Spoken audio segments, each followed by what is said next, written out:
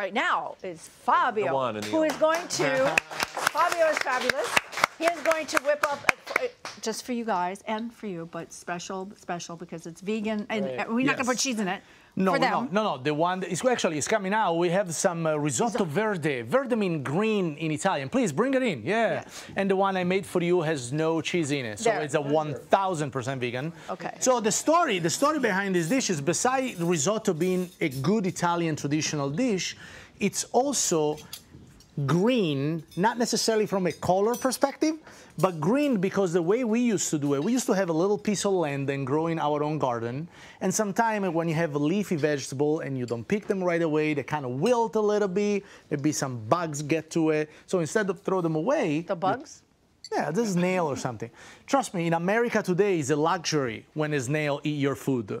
Because there is a lot of pesticides, Yeah. there is a lot of oh, bad stuff around. So it's actually really good to have a bug or two on your salad. But besides that, A, bu- a, bu- a bug or two, oh, yes. Okay, a bug or two, Okay. Buggers. If you think about it, if a snail doesn't want to eat your food, why would you want to eat that? Yeah, right. That's true. Can I eat this? I've been. So what is what is the story? What are we going to be eating here? So, Am I still vegan if I eat bugs?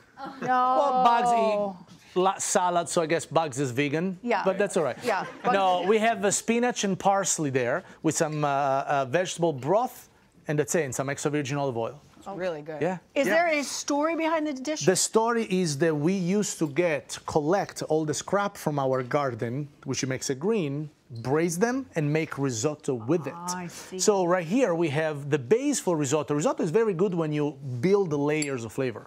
So we have white onion, we have celery, and we have some garlic. Then I'm going to add a little bit of black pepper, oh, it smells so good. and I'm gonna add a little bit of nutmeg. Nutmeg for a little earth tone. Nutmeg is a very good, uh, very good spice. Very, nutmeg is what we find more commonly in eggnog. It's one of the things America I know loves. But a, a little touch of nutmeg in your risotto makes a very, very good flavor. Good oh. addition. Well, God, that smells good. The secret, There's a secret. there is a secret behind risotto because let's be realistic, America. If you cannot stand in front of a stove and stir a pot like this For 20 minutes. for 10 minutes, you have no business in the kitchen. Seriously, guys. That's what. I hope you either are well off and can hire private chefs or give up risotto altogether. But I was always taught that you have to stand there and, and turn the risotto and then add more broth or add more. Yes, it's a Stop. little, guys, come on, it's a little labor. America got very lazy. Oh. So, comfort, I understand. Laziness in food, I don't. Okay. So, if you gotta just add a little stock and just stir it, I mean, same things. You gotta take a shower every day, you gotta wash your hair, you gotta brush your back Every day? every day, You have to, twice a you have to brush your back. You got to brush your back. What Wow. kind of shower are How you guys hairy are taking? you? What? you guys are fine. I got no hair. I'm a hairless Italian. All Okay. right. So then, what you want to do, because the risotto has grain in it, there- there's you know a little grain of rice. It will be very easy for these to absorb the oil and the moisture released from the vegetable in it.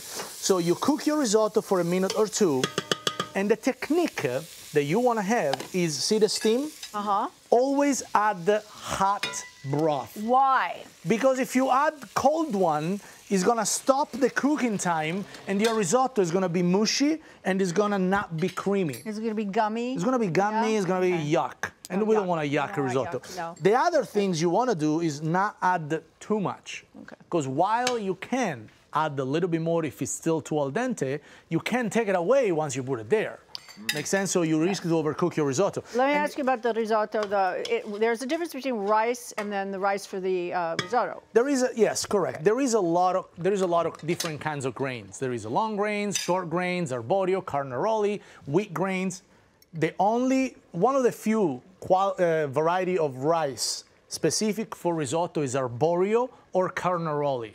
Very uh, widely available And in the grocery store. that? They're rounder, they have a little bit more natural starches in it, and they're creamier when they cook. Mm. So the final touch that we're gonna do once the, uh, the, the, the stock is almost reduced, what we do, we're gonna add, in our case, we're gonna add spin- fresh spinach to it.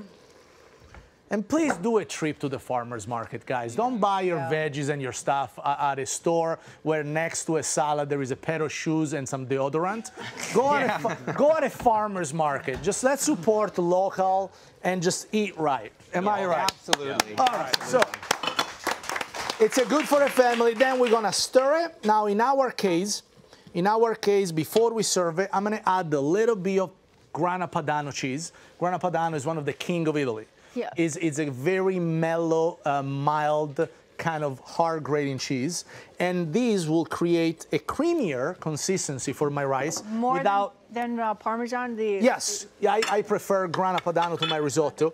Okay. It's just add an extra layer of creaminess without the use of butter or any heavy cream. So, like that, Christine. Yes. Vegetable broth in this case. If you like to add uh, some, you know, you can add some chicken stock if you prefer, or water if you don't want any broth. But you know, vegetable broth by being a vegetable dish to begin with is the best option for you. Can I serve you a little I bit? had some cheese. I'm sorry. sorry. All right, Christina. I just love it. You know, eat this with some prosciutto and wine and Yes. little grapes. I'm happy. All right, let me serve you that. So, and then you guys, by the way, to sample? You good? good. Mm-hmm. Excellent. Nice. the final eating things, the cheese it's a little bit of lemon zest. Lemon zest. Lemon zest, little extra pepper? cheese. Yes, please. I was gonna do it for you. So good. Lemon That's it. zest. Oh,